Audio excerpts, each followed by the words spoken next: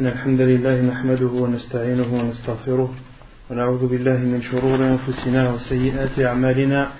من يهده الله فلا مضل له ومن يضلل فلا هادي له.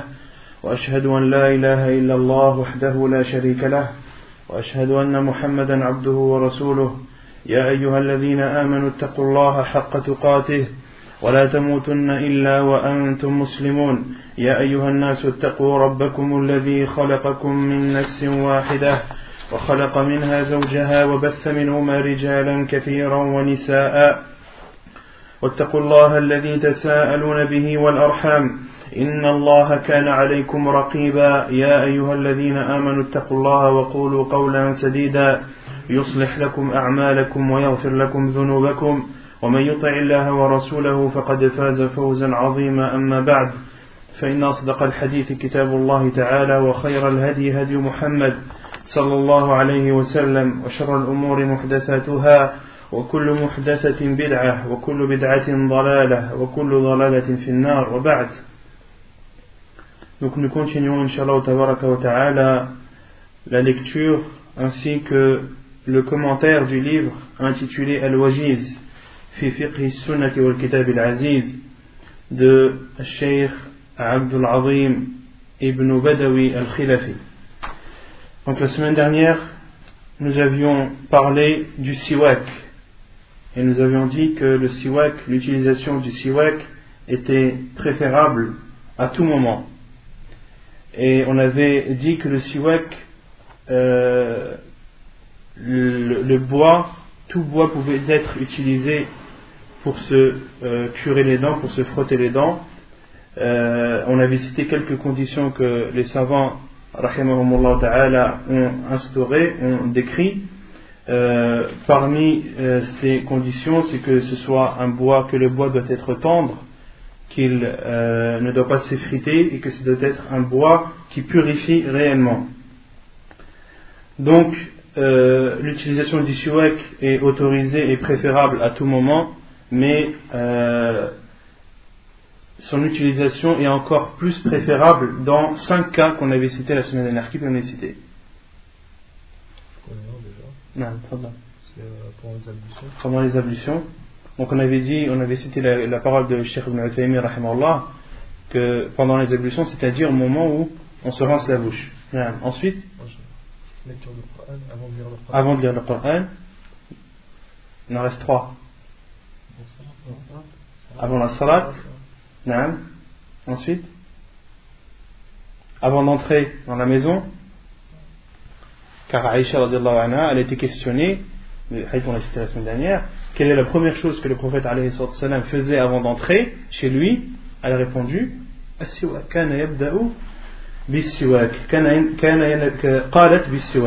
Et ensuite, la cinquième chose qu'on avait citée, Moussa? Lorsque la personne se lève de la nuit pour prier. Car il y a un hadith du prophète qui dit que euh, le hadith de Hudayfa qui dit que le prophète lorsqu'il se levait la nuit pour prier, il euh, se nettoyait la bouche avec le siwak. Donc ce sont les cinq euh, cas qui sont encore plus préférables où, où l'utilisation du siwak est encore plus préférable. Ensuite, on avait parlé du fait qu'il est déconseillé très fortement de euh, s'épiler les cheveux de vieillesse. Ensuite, on avait aussi parlé de la teinture, qu'il était autorisé euh, de se teindre les cheveux de vieillesse avec du henna, du henné, du katam. On avait dit que le katam était un fruit euh, qui pousse au Yémen dont la couleur de cette teinture est noire qui vire au rouge. Et il est interdit de se teindre en noir. Euh, on avait cité le hadith euh, de Abu Quhafa. Et la semaine dernière, j'ai fait une erreur. Euh, lorsque j'ai parlé euh, du père de Abu Bakr, j'ai dit Abu Qahafa. C'est pas Abu Qahafa, c'est Abu Quhafa. Donc il y a un frère, qui m'a repris sur ça. Et donc après vérification, c'était bien euh, la vérité. Donc euh, c'est Abu Quhafa, le Dom, et non Abu Qahafa. Donc Abu Quhafa qui est le père de Abu Bakr radiallahu anhu. Donc euh, le jour de lorsque le prophète est rentré à la Mecque, Yom al-Fath, qui s'appelle le jour de la victoire, euh, Abu Quhafa lui euh, euh, a embrassé l'islam le jour de Yom al-Fath. Et il a été apporté au prophète et lorsque le prophète a vu ses cheveux, sa barbe blanche comme Asarama, Asarama on avait dit que c'était un, fruit, un arbre qui avait des fruits et un, feuillage blanc. Et le prophète salam a, dit aux compagnons euh, Teignez les cheveux de cet homme et abstenez-vous du noir. Euh, et aussi, on avait aussi cité le, hadith du prophète. Aussi, j'ai fait une autre erreur de traduction la semaine dernière lorsque j'ai cité le hadith d'Ibn Abbas où le prophète dit il y aura euh, dans la fin des temps des personnes qui se teigneront euh, en noir comme euh, l'abdomen ou la poitrine j'avais dit des colombes. Kahawas et le hamam en fait c'est pas colombe c'est pigeon. Le terme exact c'est pigeon ils ne sentiront pas l'odeur du paradis. Ensuite on avait expliqué euh, les règles ou le comportement à avoir lorsque l'on fait nos besoins. La première est euh, lorsque l'on rentre dans les toilettes ou lorsque on rentre dans un endroit où euh, l'on fait nos besoins, il est préférable de dire Bismillah et ensuite de dire le dua. Allahumma inni bika khaba'ith. Oh Allah, je demande ta protection contre les diables mâles et femelles. Et ensuite, euh, on avait aussi euh, cité la dua que le prophète disait en sortant. Il disait Ghufranak quand il sortait euh, de l'endroit où il faisait ses, ses besoins. Et euh, de même qu'il est préférable lorsque l'on va faire ses besoins, lorsqu'on va aux toilettes ou lorsqu'on rentre dans l'endroit où on fait ses besoins, c'est pas forcément les toilettes, ça peut être à l'extérieur, de euh, précéder le pied gauche, d'accord? Car euh, le prophète salam euh, donc de précéder le pied gauche en entrant et de euh, sortir par le pied droit. Car les savants ont dit que la gauche, ou plutôt la droite, est réservée pour les choses, euh, comment dire, qui sont respectables, et la gauche est utilisée pour les choses répugnantes et non respectables.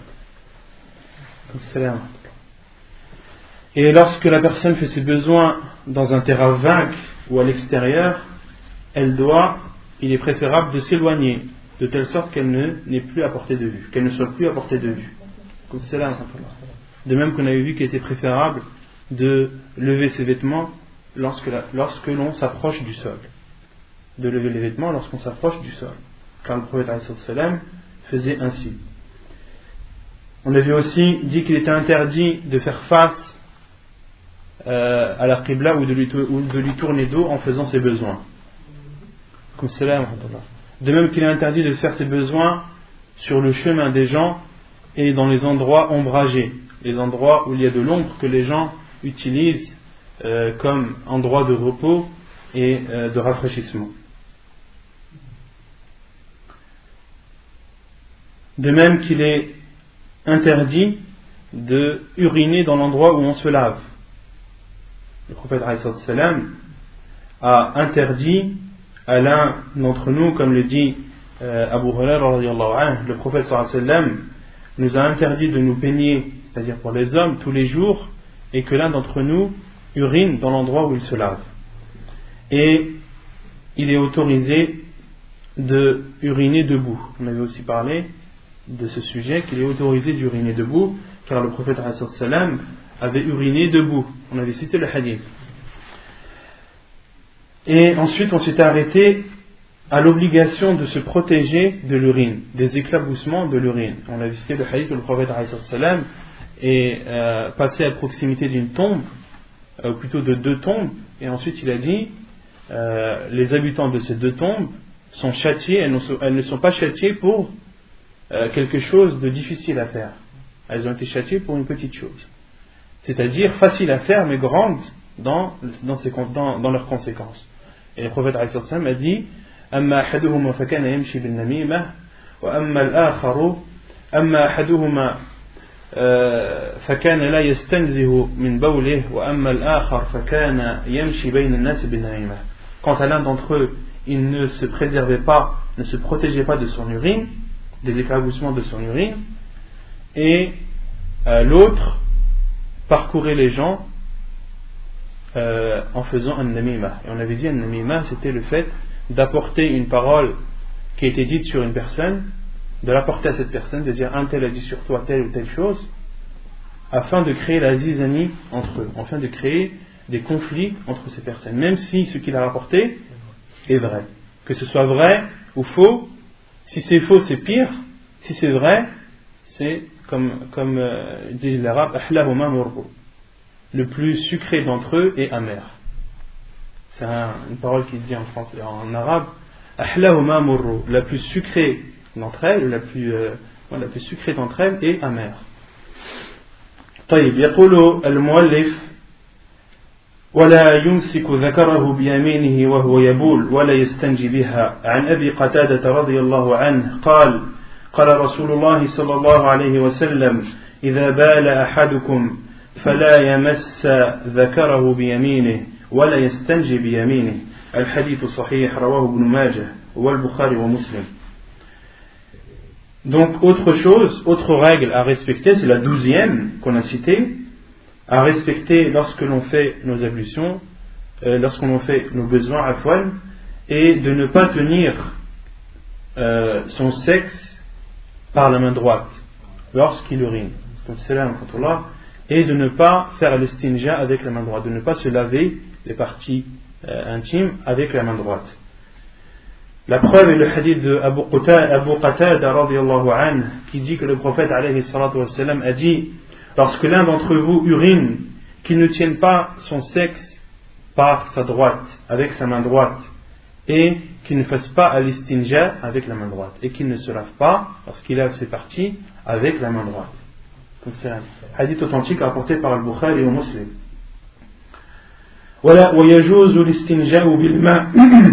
ويجوز الاستنجاء بالماء أو بالأحجار وما في معناها والماء أفضل. عن أنس رضي الله عنه قال كان رسول الله صلى الله عليه وسلم يدخل الخلاء فأحمل أنا وغلام نحو إداوة من ماء وعنزة فيستنجي بالماء. الحديث متفق عليه. Et il est autorisé de faire l'istinja, donc de se laver les parties, après avoir fait ses besoins, il est autorisé de faire l'istinja avec de l'eau ou avec des pierres ou euh, ce qui est semblable. Donc ce qui est semblable aux pierres. Et l'eau est meilleure. De se laver avec de l'eau est meilleur. Donc on avait cité euh, la divergence des, savants à ce sujet, que certains savants disent que le mieux est de rassembler les pierres et l'eau. À notre époque, le papier et l'eau. D'autres savants disent, comme Sheikh Al-Albani, que le prophète n'a jamais utilisé les deux. Il a fait soit il a utilisé l'eau ou soit il a utilisé les pierres. Il n'a jamais utilisé les deux, donc on se doit de le prendre comme exemple. Et les autres savants ont dit non, le prophète euh, utilisait l'eau et utilisait les pierres pour se nettoyer, pour enlever l'impureté. Donc le principal est d'enlever l'impureté. Et mieux l'impureté est enlevée, et mieux le moyen est, préférable, et plus le moyen est préférable. Donc, euh, parmi les savants qui ont dit, qui ont cet avis, qu'il est autorisé de rassembler les deux, que c'est meilleur, Sheikh ibn Uthaymin, Sheikh ibn Baz et autres.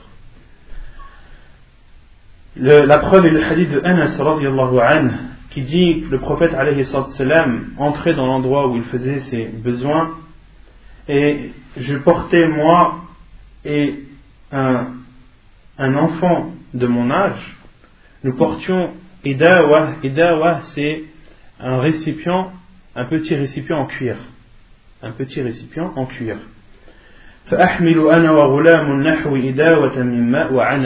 Et il prenait aussi Al-Anazah, c'est un, un bout de bois avec une pointe au bout, une pointe en fer.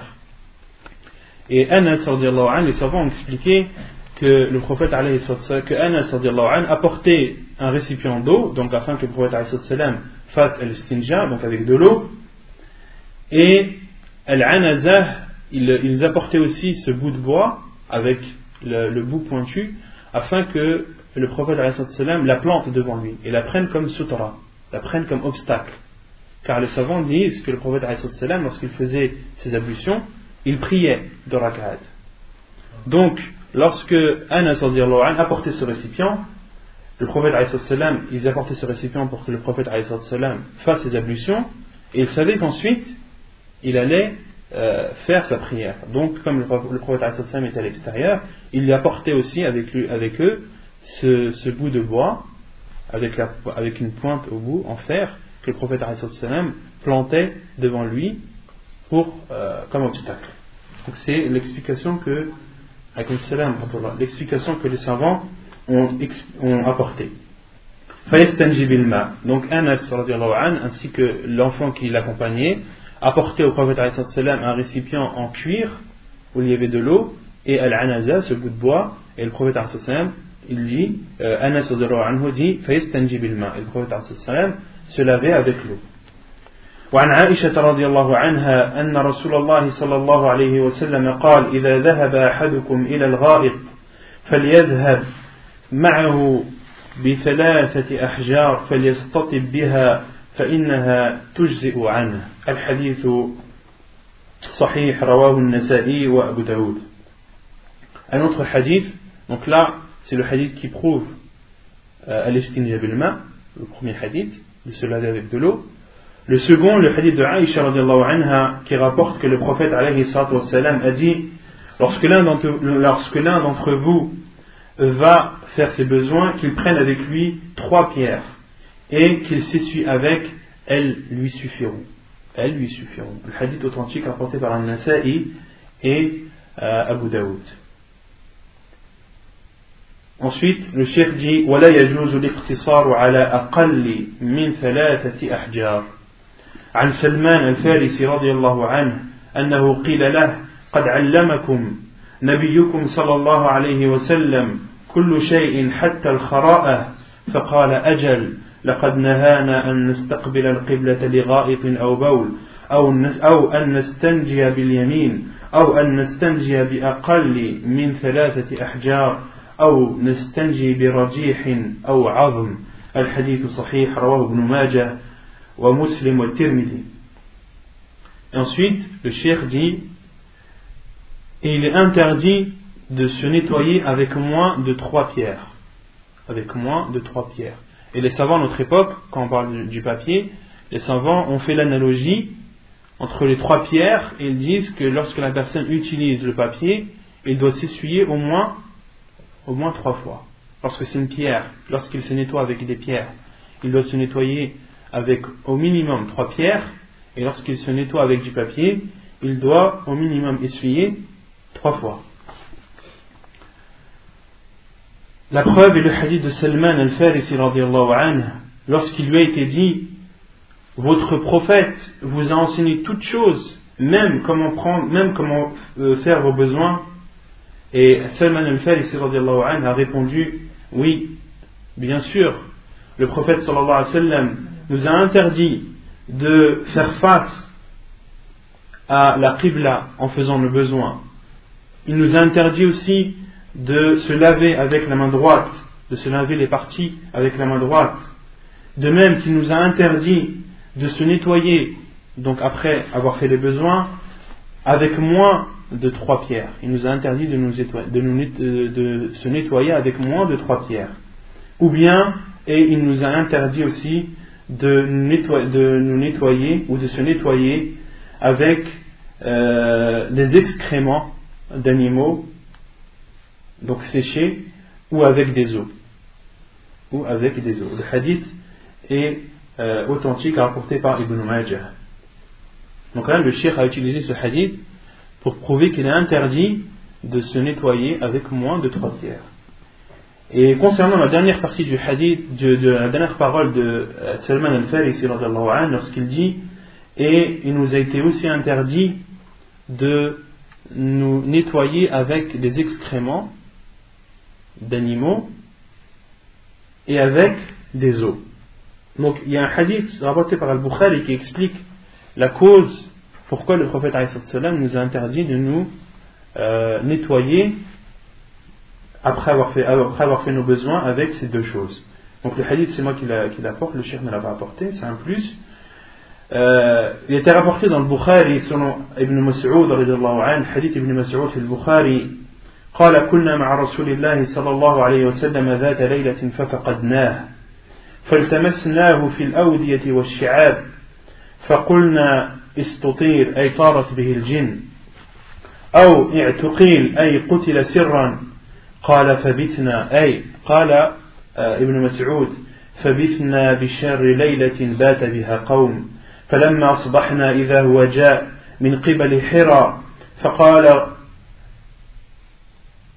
فقال قلنا يا رسول الله قال قلنا يا رسول الله فقدناك فطلبناك فلم نجدك فبثنا بشر ليلة بات بها قوم فقال أتاني داعي الجن؟ فذهبت معه فقرأت عليهم القرآن. قال فانطلق بنا. قال أي قال عبد الله بن مسعود. فانطلق بنا فأرانا آثارهم وآثار نيرانهم. وسألوه الزاد فقال لكم كل عظم ذكر اسم الله عليه. يقع في أيديكم أوفر ما يكون لحما. وكل بعرة علف لدوابكم.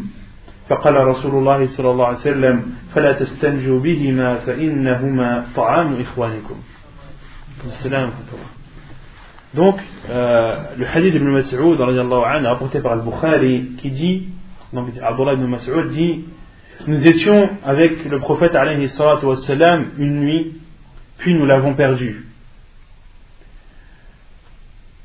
Ensuite, nous avons cherché partout après le prophète alayhi wassalam, sans aucune, euh, sans ne l'avoir retrouvé.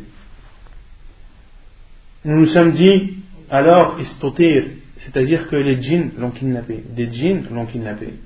Ou bien il a été tué secrètement. Donc c'est ce que les compagnons se sont dit.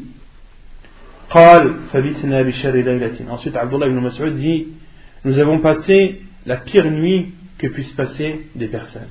Nous avions passé la pire nuit que puissent passer des personnes.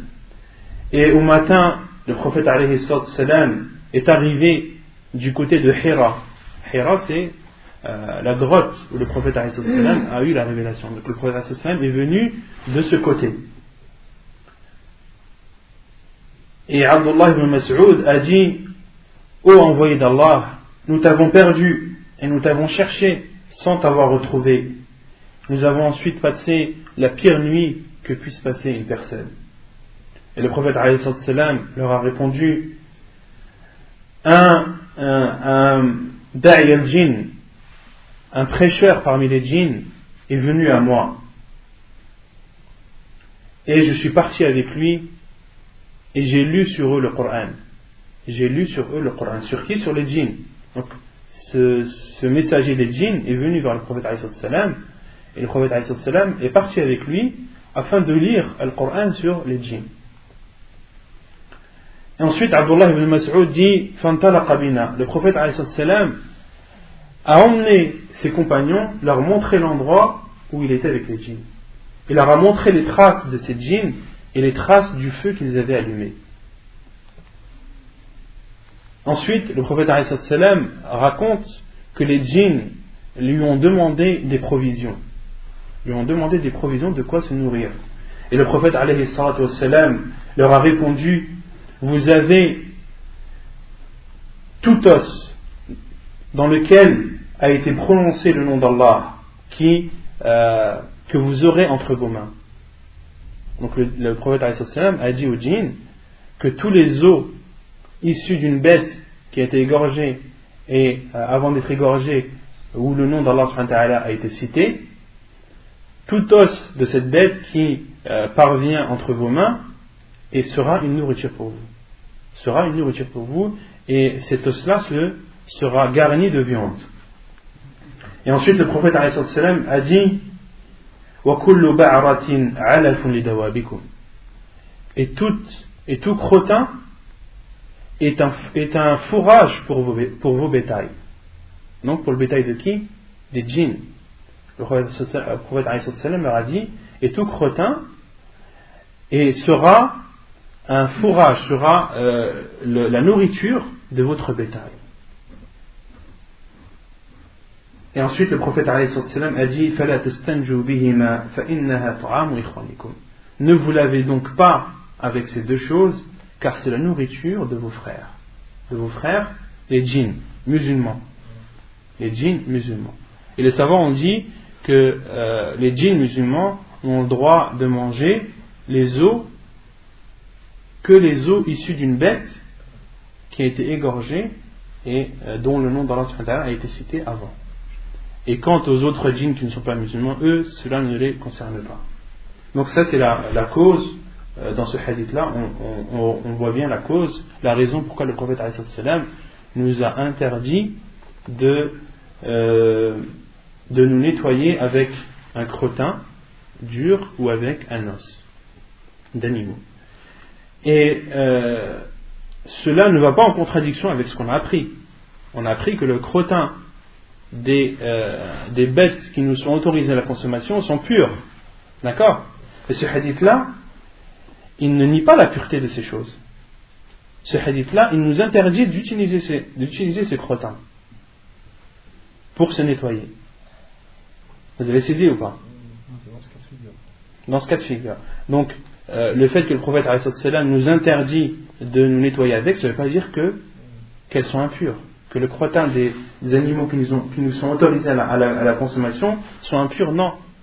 Parce qu'il y a une règle qui dit euh, que les savants ont, ont, ont, ont instauré, c'est que toute chose impure est interdite. Ça, c'est une règle. Toute chose impure est interdite. Elle est interdite à la consommation. Et elle est interdite, à, on n'a pas le droit de l'utiliser, parce qu'elle est impure. Mais toute chose interdite n'est pas forcément impure. Toute chose interdite n'est pas forcément impure. Comme par exemple le vin l'alcool. Il y, a, une divergence chez les savants à ce sujet. Euh, certains savants disent que l'alcool est une impureté, D'autres savants disent que l'alcool n'est pas une impureté. Et l'avis le plus probable, Inch'Allah ta'ala, c'est que l'alcool n'est pas une impureté. Car la base en toute chose est, est la pureté. La base en toute chose est la pureté jusqu'à la preuve du contraire. Il n'y a pas de preuve claire, euh, ni dans, le- Coran, ni dans la Sunna, qui prouve que l'alcool est, est impur. Au contraire, il y a des hadiths euh, du prophète qui prouve que l'alcool n'est pas impur. Comme par exemple, lorsque l'alcool a été interdit, parmi les, preuves que les savants utilisent, lorsque l'alcool a été interdit, les compagnons ont versé tout l'alcool, tout le vin qu'ils avaient en leur possession, jusqu'à ce que les, compagnons ont dit que le, vin ruisselait dans les rues de Médine. Le vin, à Médine, les rues de Médine, elles étaient parcourues par des, par des ruisseaux de vin et d'alcool tellement ils étaient en grande quantité. Et les savants ont dit que si l'alcool était impur, le prophète n'aurait pas ordonné de, de, de- de- verser tout, ce, al- tout cet alcool dans les rues de Médine. Pourquoi? Parce que les gens vont obligatoirement être tachés. Cette impureté va, euh, va leur parvenir. Donc ça c'est une des preuves euh, que l'alcool n'est pas impur. Tout ça pour revenir à la règle, c'est que toute chose impure est interdite, mais toute chose interdite n'est pas forcément impure. Donc dans ce hadith-là, où le prophète nous interdit de nous euh, de faire l'estinja, donc de se laver après avoir fait ses besoins, de se laver les parties intimes, avec les crottins, cela ne prouve pas que le crottin des animaux qui nous, qui nous sont autorisés à la consommation sont impurs. Non. Non. L'alcool, euh, le parfum avec l'alcool. Le parfum avec l'alcool, euh, donc il y a des savants qui disent que l'alcool qui est euh, l'alcool qui est pur, les savants qui considèrent que l'alcool est pur, euh, le fait d'utiliser un parfum avec alcool, les savants ils ne parlent pas d'impureté ou de, ou, ou de pas impureté. Ils disent que l'alcool, il est interdit de l'utiliser. Il est interdit de l'utiliser. Et la parole des savants, de tous les savants à notre époque, les contemporains, c'est que il faut regarder la quantité d'alcool présente dans ce parfum. Si la quantité est suffisante à tel point que si tu buvais ce parfum, tu, deviendrais sous, il interdit de l'utiliser, de le vendre et euh, et d'en mettre sur soi. Donc là, tout dépend de la contenance et du degré, euh, du pourcentage plutôt d'alcool qu'il y a dans ce parfum. Si la plus grande quantité est l'alcool, ou si la quantité d'alcool présente dans ce parfum est suffisante à enivrer une personne qui, qui boit, qui boit ce parfum, là ça devient interdit. Allah أعلم. طيب ويقول المؤلف ولا يجوز الاستجمار بالعظم والروث عن جابر رضي الله عنه قال نهى النبي صلى الله عليه وسلم أن يتمسح بعظم أو ببعر البعر أي القذر والعذرة الحديث صحيح رواه ابن ماجه ومسلم وأبو داود Donc ensuite, le cheikh dit, il est interdit de se nettoyer après avoir fait ses ablutions avec un des os ou des crottins. Euh, euh, la preuve est le hadith de Jabir qui dit que le prophète sallam nous a interdit de nous essuyer avec un os ou avec un crottin. Donc là, euh, le hadith qui a été cité précédemment, le cheikh l'a utilisé pour prouver qu'il est interdit de se nettoyer avec moins de trois pierres. Le hadith de Salman al-Farisi qu'on a cité juste avant. Vous avez saisi ou pas? En fait, les savants, lorsqu'ils, euh, par exemple ici, le cheikh a dit, le, point, le point précédent, qu'il est interdit de se nettoyer avec moins de trois pieds. Ensuite, il a cité le hadith de Salman al-Farisi. Mais dans le hadith de Salman al-Farisi, il y a beaucoup de choses à retenir.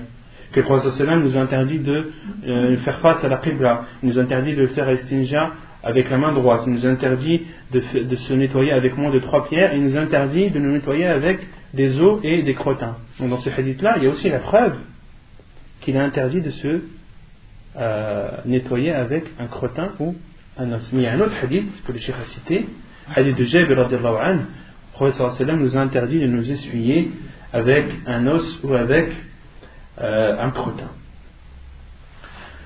ثم يقول المؤلف باب الآنية donc là on est toujours dans euh, le livre de la purification, et là on entre dans le chapitre des, euh, des ustensiles. Le chapitre des ustensiles ou euh, des récipients. Des ustensiles ou des récipients.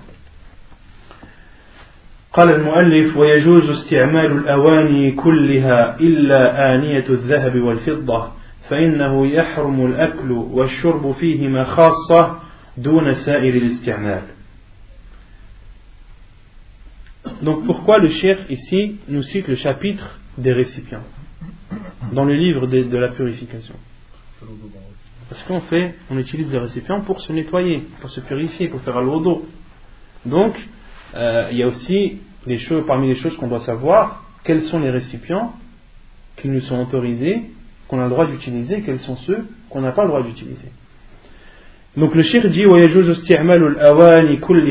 il est autorisé d'utiliser tous les, tous les ustensiles, tous les récipients, sauf les récipients euh, d'or et d'argent. Il est interdit, il est haram.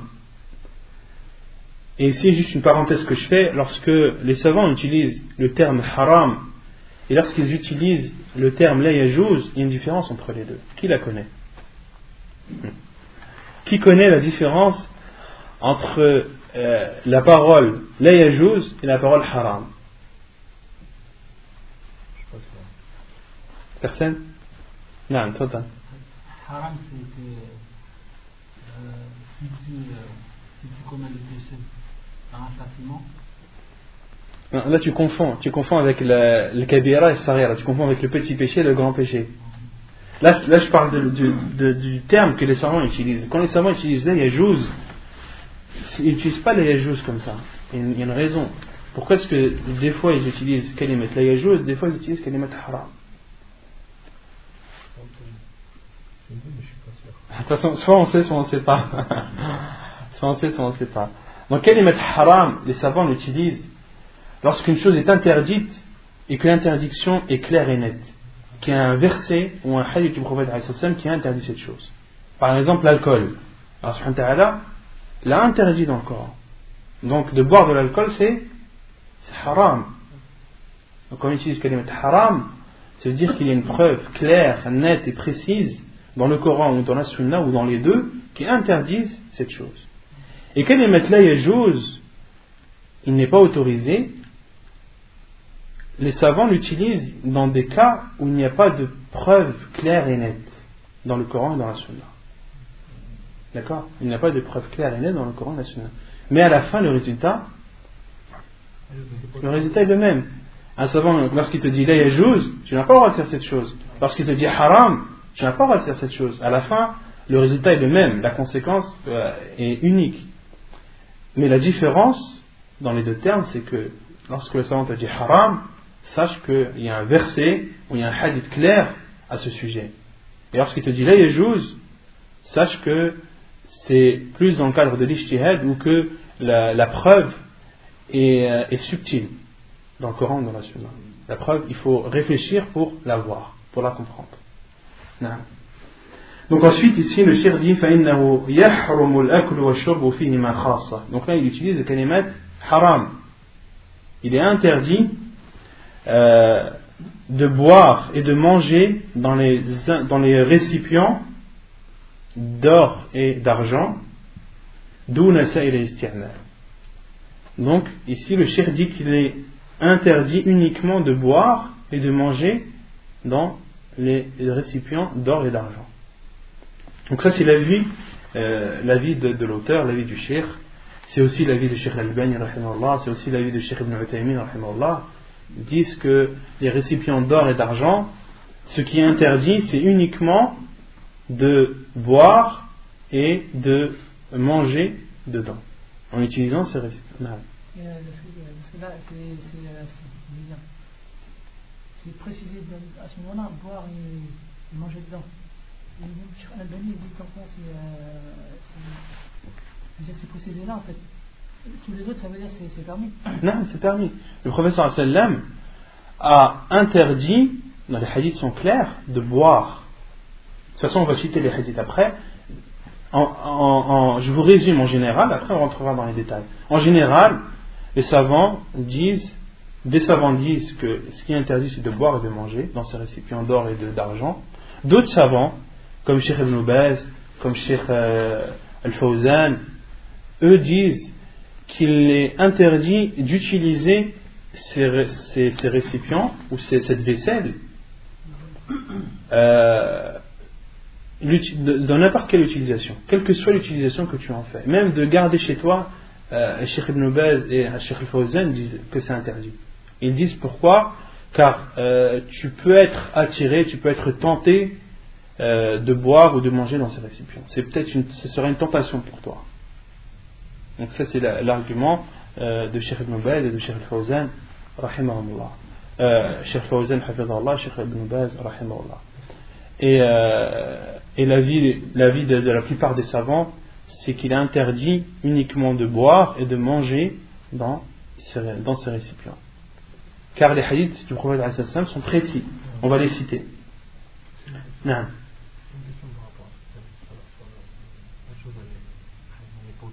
Ouais. Si c'est tiré de, si c'est tiré de est-ce que c'est considéré dans la ou dans, dans le haram? Allahu A'lam. Allahu A'lam. Donc, euh, parmi les, le fait de boire et de manger, euh, Cheikh Ibn Asamin dit ça englobe tout. Tout ce que tu utilises pour boire et manger. C'est pas seulement une assiette ou un bol. Ça peut être aussi une cuillère, un couteau, une fourchette tout ce que tu utilises pour manger, pour boire, euh, si c'est en or ou en argent, cette utilisation est interdite. Donc, euh, c'est pour ça que j'ai traduit le chapitre des récipients et des ustensiles. D'accord? Pourquoi? Parce que les savants euh, voient la chose plus globalement. عن حذيفة رضي الله عنه أن النبي صلى الله عليه وسلم قال لا تشربوا في آنية الذهب والفضة ولا تلبسوا الحرير والديباج فإنها لهم في الدنيا ولكم في الآخرة. الحديث صحيح متفق عليه. La preuve le hadith de, Abu, de Hudayfa radiallahu anhu, qui dit que le prophète alayhi wassalam, a dit ne buvez pas, ne, ne buvez pas dans des récipients d'or et d'argent, et ne portez pas la soie et ad-dibaj. Les savants disent que c'est euh, que c'est une sorte de soie, c'est une soie de luxe, que c'est une sorte de soie, mais qui est appelée dibaj. Et les savants disent que le prophète a cité dibaj pour, euh, pour que l'ambiguïté soit enlevée. Parce que comme il est appelé autrement que al-halil, que la soie, ça, porte porte, ça peut porter une ambiguïté. Donc le prophète a enlevé cette ambiguïté et a dit al-harir wa dibaj. La soie et al-dibaj qui est une sorte de soie aussi. Car euh, elle est pour eux dans cette vie d'ici-bas et elle est pour, euh, elle est pour vous dans le delà. En parlant de, des récipients d'or et d'argent et de la soie. Et euh, le, Hafid ibn Hajar dit elle est à eux, c'est-à-dire à ceux qui utilisent ces choses. À ceux qui les utilisent, ils ne l'utiliseront que dans cette vie d'ici-bas. Et en aucun cas, les savants disent, en aucun cas, le prophète lorsqu'il est dit elle est à eux dans cette vie d'ici-bas, en aucun cas c'est une autorisation du prophète à ces personnes, aux non-musulmans par exemple, de porter ces choses ou d'utiliser ces choses. Non. Ces choses, lorsque le prophète interdit quelque chose, l'interdiction, elle, euh, elle s'applique à toute la communauté. On avait dit la communauté se divise en deux. Ummatul da'wa, ummatul ijabah. Et le, prophète, lorsqu'il interdit quelque chose, il interdit à tous ceux qui sont venus après lui, qu'ils soient musulmans ou non. D'accord? Donc le prophète, lorsqu'il a dit elle est à eux, ou elles sont à, eux, c'est-à-dire les, récipients d'or et d'argent et la soie, elles sont à eux, c'est-à-dire elles leur appartiennent. C'est-à-dire que leur utilisation de ces choses est restreinte à cette vie d'ici-bas. Et en aucun cas, le prophète leur a autorisé de l'utiliser. Et euh, concernant Al-Harir, concernant la soie, euh, il y a beaucoup de choses à dire dessus. Euh, la première, le Sheikh ibn Uthaymin, le Sheikh al-Albani, Allah, disent que la soie qui est interdite dans, dans ce hadith, c'est la soie traditionnelle et non la soie artificielle. Et la soie traditionnelle, qui sait comment la soie est faite? Qui sait d'où vient la soie? Pourquoi est-ce que la soie, c'est euh, un, comment dire, c'est un tissu riche et, précieux Pourquoi? C'est avec les vers. La soie, elle est faite avec les vers, des vers de soie, ça s'appelle. En arabe, c'est doudat al-qaz. C'est un ver, en fait, c'est une chenille les chenilles, comme vous savez tous, ils se transforment en papillons. Ah, non, un verre, un verre de terre, un verre VER. Donc, euh, et ces chenilles, euh, lorsqu'elles se transforment en, elles, font, comment dire, sont d'abord dans une coquille. Et cette coquille, c'est en fait un fil qui les entoure autour d'elles-mêmes. D'accord? Et elles restent dans ce cocon un certain temps, et ensuite le cocon éclot, il se casse, et le papillon sort. Et ensuite, euh, ceux qui veulent extraire de la soie, ils doivent extraire la soie. En fait, ils doivent prendre ce cocon et enlever le fil enroulé, petit à petit. D'accord? Et ensuite, prendre plusieurs fils. Le processus pour créer la soie, il y a, tellement de procédés, il y a tellement d'étapes à suivre, à, respecter, on comprend le, on comprend le, comment dire, le fait que la soie soit un, tissu très cher. Et il y en a même qui, euh, qui font un élevage de verre à soie. Ils élèvent carrément des vers pour en extraire la soie. Donc les savants, euh, comme Sheikh al-Albani, Sheikh Ibn Uthaymin, disent que la soie qui est interdite, c'est celle-ci. La soie extraite de euh, ce verre, le verre, à soie. Et non la soie artificielle, la soie artificielle hein, ou synthétique. Une soie qui est faite, euh, un, tissu qui ressemble à de la soie mais qui n'est pas de la soie. Ça, c'est pas interdit. Il ne rentre pas dans l'interdiction de la soie. Donc ça c'était la première chose à, dire. Euh, Et ensuite. Cheikh Al-Albani, Cheikh Ibn Uthaymin. Mais d'autres, hein, mais bon, ceux que j'ai en, tête, ceux dont je suis sûr qu'ils l'ont dit, euh, Cheikh Al-Albani l'a dit dans une de ses cassettes, et Cheikh Ibn Uthaymin l'a dit dans Sharh euh, al-Maram. Dans Sharh Bulugh al-Maram, Cheikh euh, Ibn Uthaymin cite ça. Euh, et ensuite, parmi aussi les choses qu'il faut retenir, c'est que le prophète euh, lorsqu'il interdit de boire et de manger dans euh, les récipients d'or et d'argent, l'interdiction englobe à la fois les hommes et la femme, les hommes et les femmes.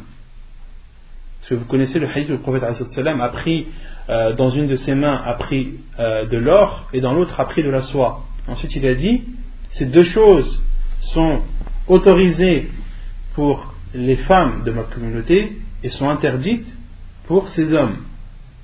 Donc la règle générale, la base, c'est que l'or et la soie sont autorisés pour la femme et interdits pour l'homme.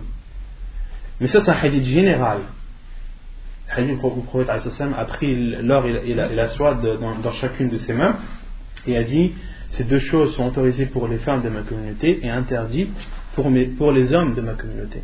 C'est un hadith général. Et ce hadith-là, où le prophète dit La fi ne buvez pas dans les récipients d'or et d'argent, ça c'est un hadith spécifique. C'est un hadith spécifique. Le prophète a dit Ne buvez pas. Il parle à tout le monde. Donc les savants ont dit que cette interdiction englobe les hommes et les femmes. Englobe les hommes et les femmes. Et en aucun cas, il contredit le premier hadith. Pourquoi? Car le, premier hadith est général. Et celui-ci est précis.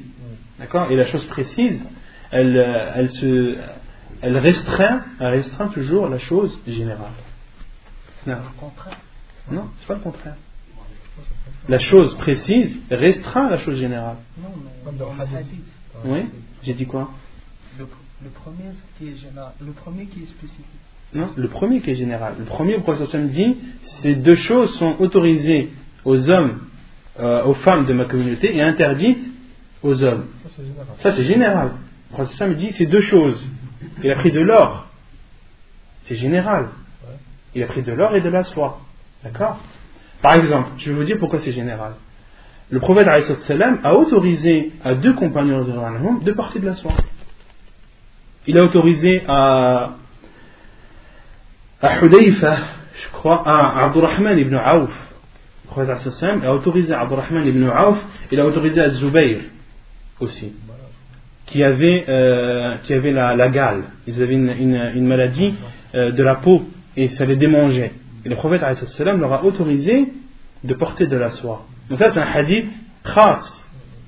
C'est un hadith spécifique qui vient spécifier le premier. Le premier, le pro- le prophète a interdit la soie aux hommes. Mais dans ce hadith-là, il l'a autorisé.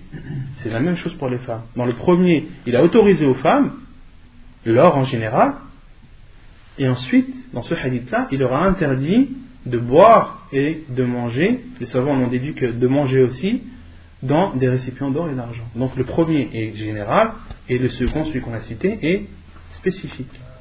Et le spécifique restreint toujours le général. D'accord? Le prophète Allah subhanahu wa dans le Coran, il nous interdit de manger la bête morte. D'accord? Mais dans un autre verset, il nous interdit les bêtes mortes de la mer. Le premier verset est général et le second est précis. Et le précis restreint le général. Donc il nous a interdit de manger des bêtes mortes, sauf des bêtes mortes de, euh, de la mer. Il, a- il est autorisé aux femmes l'or, sauf, sauf de boire et de manger dans des récipients d'or. Il est interdit à l'homme de porter euh, de, de la soie, sauf pour celui qui est malade ou qui en a le besoin, comme disent les savants. C'est bon, c'est clair? Non, moi ce que j'ai dit, c'est que le, le deuxième hadith. Haram pour tout le monde et le, le premier c'est haram que pour, le, pour les hommes. hein. Non, non, le premier, il autorise. Il autorise en fait. Il autorise aux femmes, et celui-là, il interdit aux femmes, il interdit une chose restreinte. Il n'interdit pas l'or en général, il interdit seulement à la femme de boire et de manger dans des récipients d'or. Donc c'est précis. Non.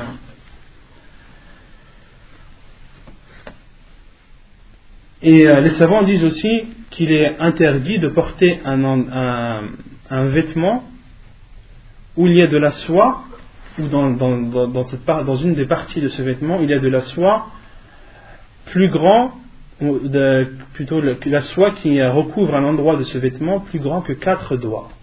Car il y a un hadith du prophète qui dit euh, que qu'il est autorisé qu'il est autorisé de porter un vêtement qui comporte de la soie à condition que la soie ne dépasse pas. Le prophète a dit euh, l'endroit de deux, deux, deux, deux, doigts, trois ou quatre. Deux, trois ou quatre. Le hadith est authentique. Et les savants ont dit que si tu as un vêtement qui a une, euh, comment dire, qui a un tissu autre que, la soie, mais qui comporte, par exemple, quelque chose tissé avec de la soie, il faut que cette chose tissée ne soit pas plus grande que quatre doigts. Quatre doigts. Si ça dépasse quatre doigts, tu n'as pas le droit. Et le hadith est authentique à ce sujet. Donc euh, voilà ce que je voulais dire à ce sujet. Euh, رضي الله عنها أن رسول الله صلى الله عليه وسلم قال Et aussi concernant le hadith, j'ai oublié de dire une chose, il y a un autre hadith du prophète qui dit euh, qu'il est interdit de s'asseoir sur la soie. Le hadith de, euh, de Hudayf ibn Yaman, anhu fil Bukhari, où il dit Wa an alayh. Et euh, le prophète a interdit, de, dans un autre hadith, le prophète a interdit de boire dans, dans des récipients d'or ou d'argent, de porter. Euh, de porter, comment dire, le, la soie, et il a interdit aussi de s'asseoir dessus. Donc le prophète dans un hadith nous a interdit de nous asseoir sur de la soie aussi. Parce que beaucoup ne savent pas ça. Euh, pensent que l'interdiction c'est uniquement euh, de porter, mais de s'asseoir aussi c'est interdit. وعن أم سلمة رضي الله عنها أن رسول الله صلى الله عليه وسلم قال الذي يشرب في إناء الفضة إنما يجرجر في بطنه نار جهنم. رواه البخاري ومسلم. ولمسلم إن الذي يأكل أو يشرب في آنية الفضة والذهب. قال مسلم وليس في حديث أحد منهم ذكر الأكل والذهب إلا في حديث ابن مسهر. قال الألباني فهذه زيادة شاذة من جهة الرواية. وإن كانت صحيحة من, من المعنى أو وإن كانت صحيحة في المعنى من حيث الدراية لأن الأكل والذهب أعظم وأخطر من الشرب والفضة كما هو ظاهر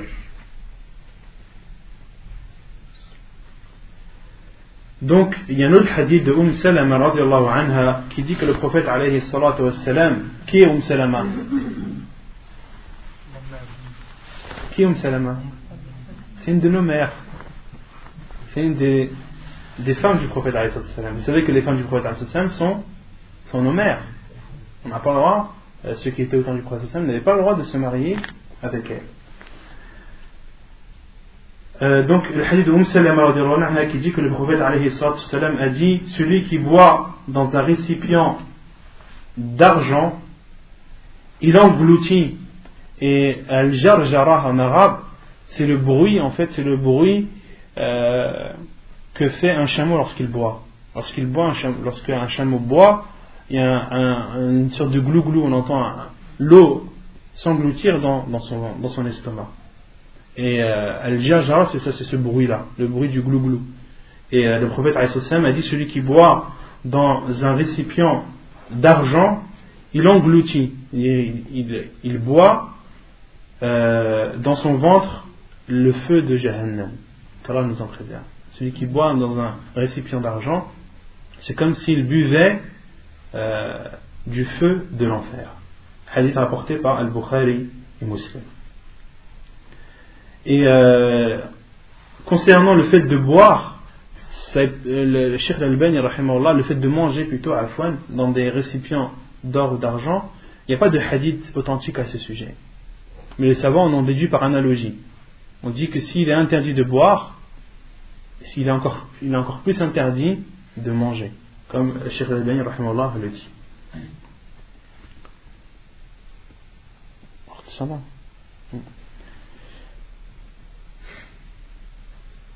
Donc, euh, une dernière chose, une dernière chose que j'ai oublié de dire concernant les, euh, les récipients d'or et d'argent. Euh, il y a un hadith du prophète alayhi salam, hadith de Anas radiallahu anhu في البخاري أن قدح donc toutes ces choses-là, c'est moi qui les, c'est moi qui les apporte euh, en plus du livre. Donc euh, Anas radiallahu anhu a rapporté dans, comme ceci est rapporté dans le Bukhari qui dit أن قدح النبي صلى الله عليه وسلم انكسر فاتخذ مكان الشعب سلسلة من ذهب سلسلة من فضة Anas radiallahu anhu dit que le prophète avait un récipient et savants disent que c'était un récipient en bois et ce récipient était cassé, était fissuré. Et le prophète a euh, utilisé, euh, donc là il y a deux explications des savants, soit une chaîne ou soit un fil d'argent pour euh, réparer ce récipient sur l'endroit où il a été fissuré. Et les savants ont dit qu'il est autorisé de boire dans un récipient qui est, où il y a une petite partie d'argent utilisée pour le réparer. Un récipient cassé, réparé avec des fils, un fil d'argent ou avec une chaîne d'argent, euh, il est autorisé de le boire. Et les ont dit les conditions, c'est que l'argent doit être en petite quantité, ce doit être que de l'argent, et euh, l'argent doit être utilisé euh, par besoin. C'est-à-dire si le récipient est cassé, pas comme ça pour, le décorer. Si le, récipient est cassé, on a le droit de le réparer avec de l'argent,